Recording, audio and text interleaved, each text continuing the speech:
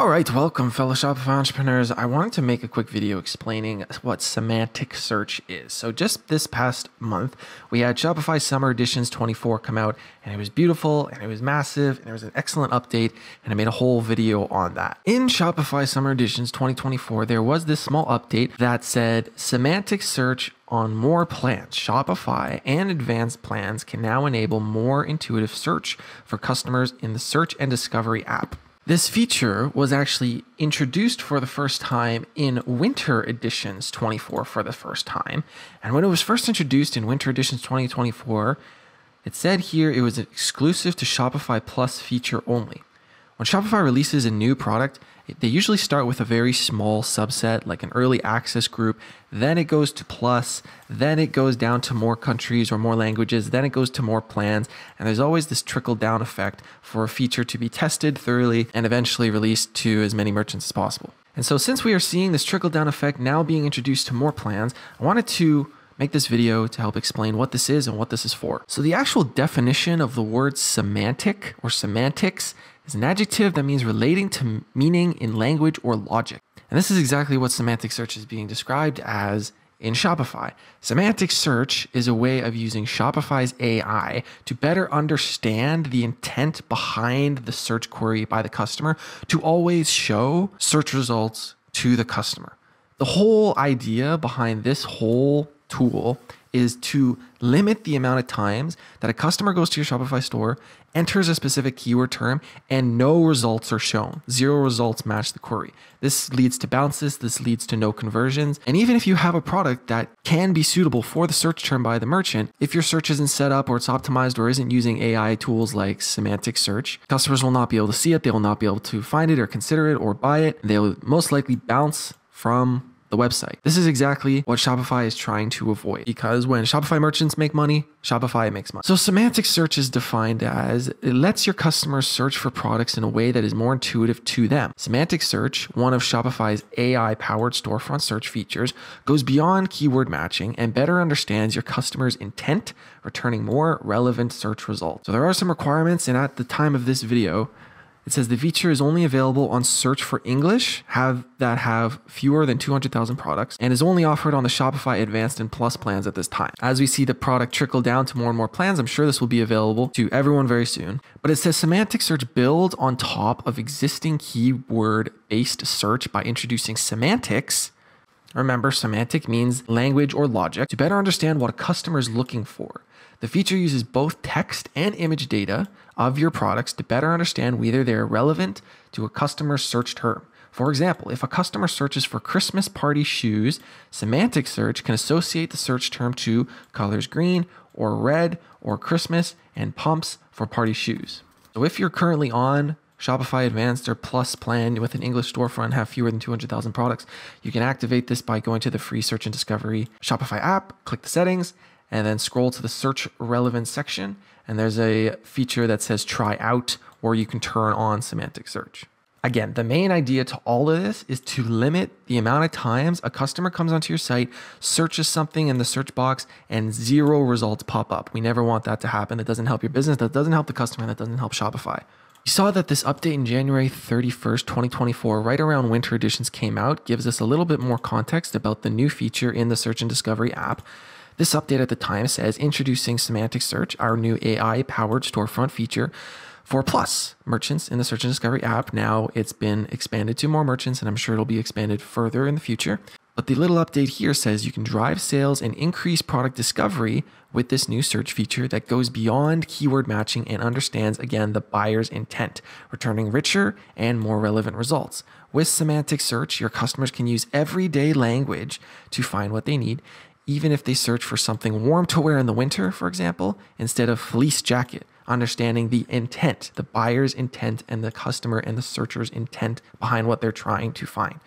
And so there's this excellent blog here on Shopify search about semantic search, what it is, and exactly how it works with all the information that is released at this time. We can see here the highlighted benefits include improved relevance and accuracy, understanding synonyms and related terms, contextual comprehension, support for voice search and conversational queries, which all in all creates a better user experience, right? Limiting the amount of times nothing, zero, shows up. You know, when you search something here and you search a search query and zero results match that, we never want that to happen. And so, what I was wondering is how exactly semantic search works. And so it's broken down just like this. So semantic search uses multiple tools to decipher semantic meaning and answer and it does this in six ways. So I think the most impressive one here is number one, where it says NLP, which is natural language processing. Basically, what this means is instead of the store searching the keyword that the customer puts in and finding a product that matches that keyword, this is very limited only to the store and the tags and the keywords and the description and the title. What NLP does is it taps into a large language model, which helps computers comprehend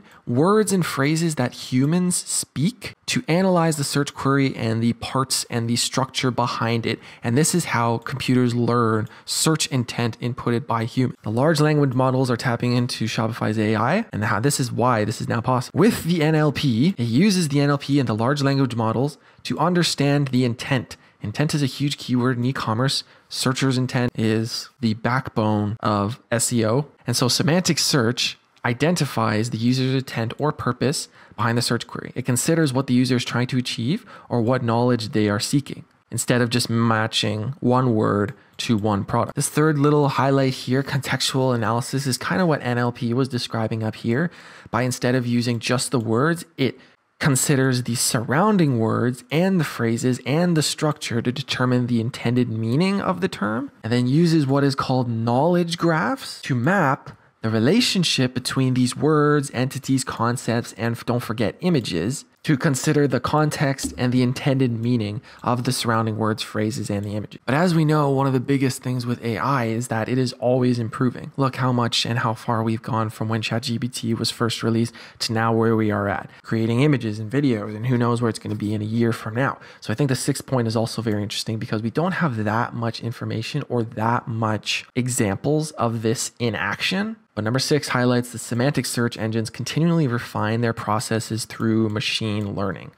And so what's interesting, it says here, for example, Google, the world's leading search engine, sometimes contacts users and asks them to rank their satisfaction with searching on its platform. And so perhaps that will ha- happen with semantic search on Shopify, merchants will be asked to rank their satisfaction with what semantic search is doing, or maybe that's what's already been happening with the early release down to plus and then down to Shopify plan and advanced plan, hopefully down to basic plan and all the other plans as well, and other languages as well. Another giant feature on the search and discovery app where this is found is that you can program synonyms. Again, the main idea about all of this is to match intent to products so customers don't bounce, and also to limit the amount of times that zero, uh, zero search results comes up when a customer searches for something because the customer is just going to bounce and they're just going to go somewhere else. So in the search and discovery app, you can actually set up synonyms.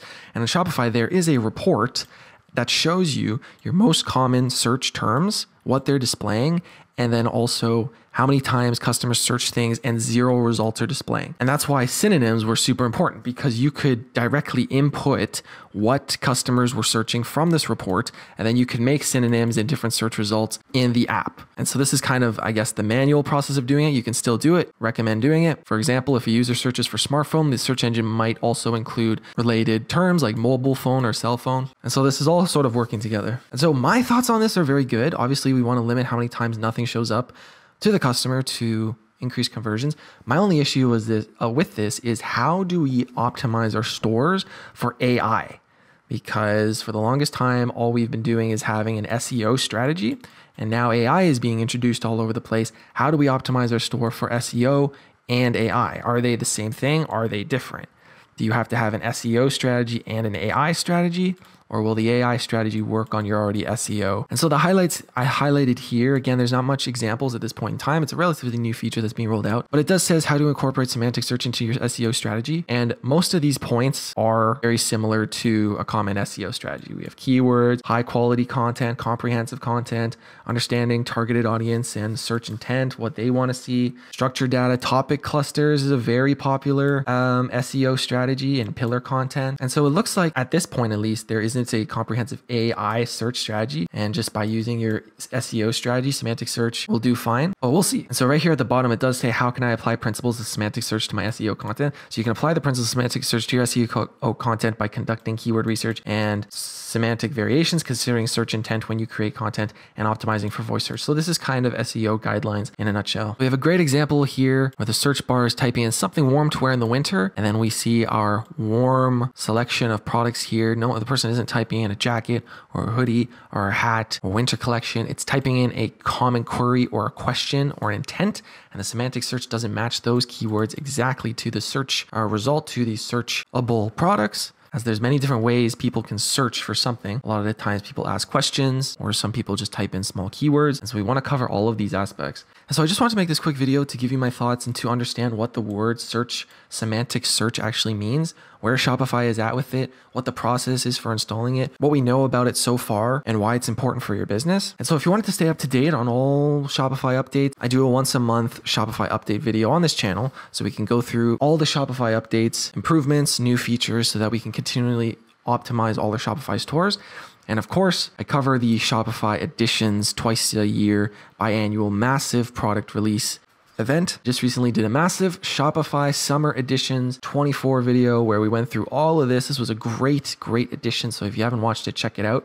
But I hope this clears up what semantic search is, what the search and discovery app is, what Shopify AI and Shopify Magic is. And if you want to stay up to date on anything new coming to Shopify or semantic search updates or anything like that, that's one of the major things I cover on this channel. So hit that subscribe button if you'd like. And if you're a fellow Shopify entrepreneur and you want to join an active community of like minded Shopify entrepreneurs as we all chase the same e commerce tree, consider subscribing. And if you do, I'll see you in the next video.